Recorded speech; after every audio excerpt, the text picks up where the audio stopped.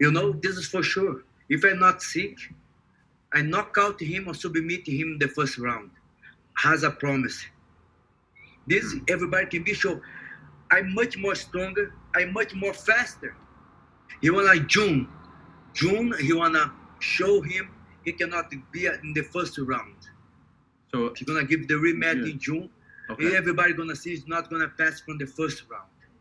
Could I ask, was Brandon tougher than you thought he would be, or do you feel like it was just a matter of you being sick, you weren't 100%? No, for sure, he's a tough guy. For sure. He, even he's sick, he, he, he gets so many bombs in his head, and he handle. But in the next fight, he's gonna be, he's gonna, he's, he gonna see Brandon More- Moreno gonna see t- totally different opponent.